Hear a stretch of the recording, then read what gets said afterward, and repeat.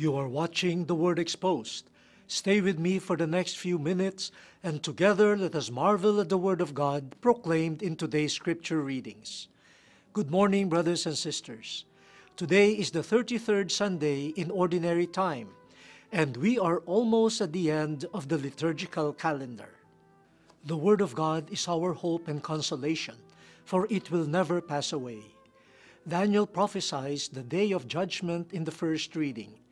And in the letter to the Hebrews, we are reminded of Jesus' sacrifice for the atonement of our sins that is our sure hope. Then in the Gospel, Jesus declares that the world as we know it would end, but that He would come again to gather us. Even now, let us learn how to find stability in Jesus amidst the uncertainties of life.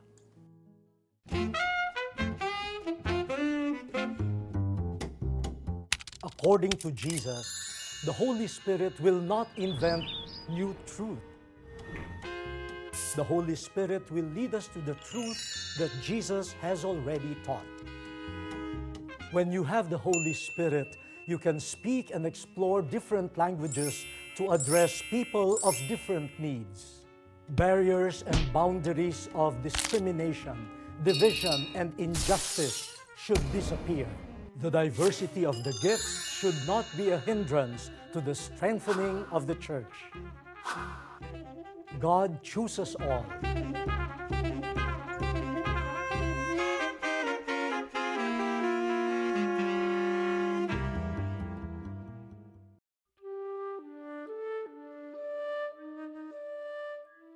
A reading from the book of the prophet Daniel.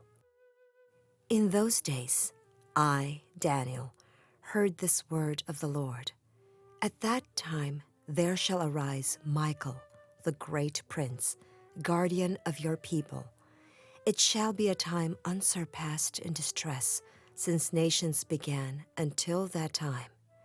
At that time your people shall escape, everyone who is found written in the book.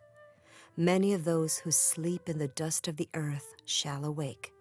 Some shall live forever, others shall be an everlasting horror and disgrace. But the wise shall shine brightly, like the splendor of the firmament, and those who lead the many to justice shall be like the stars forever. The Word of the Lord. Our first reading for this Sunday is taken from the book of Daniel. Let us reflect on hope for the future. We are coming to the end, the close of the liturgical year. And so the readings bring us to the future. But based on our day to day experience, the future is exciting, but the future is also uncertain. How do we maintain hope as we face the uncertainty and the open endedness of the future? The first reading comes from this uh, very mysterious book of Daniel. According to experts, this was written at a time of persecution. And so the language is quite enigmatic very difficult to decipher. But the context tells us of what many of us fear. What will happen to us? What will happen to the earth? What will happen to our loved ones, especially the next generation? What future is in store for life, for humanity, and for the universe. This first reading gives a response of faith. How do we maintain hope? First, there is the promise that God will send his messenger, Michael, to protect the people, to be the guardian of those who are living in difficult times. This is one, if not the most important element of hoping.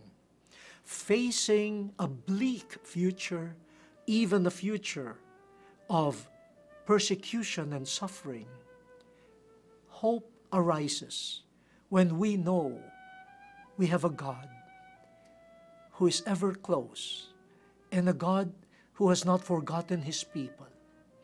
The God who will come to our rescue. The God who will send his powerful messenger, the angel Michael, to protect the people from harm. At the same time, there is another element of hope, the hope given to those who live in justice.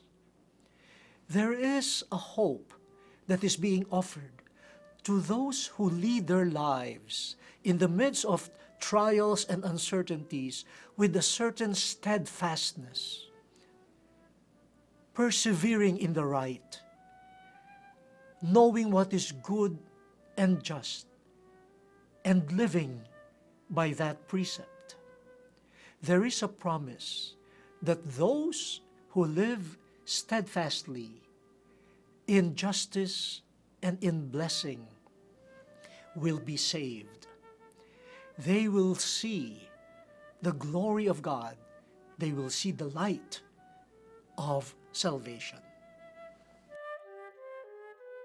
Dear brothers and sisters, the first reading gives us those two. Hope is directed to God, the ever caring God. And secondly, there is hope when you remain faithful, steadfast, courageous. One day you will see the light of salvation.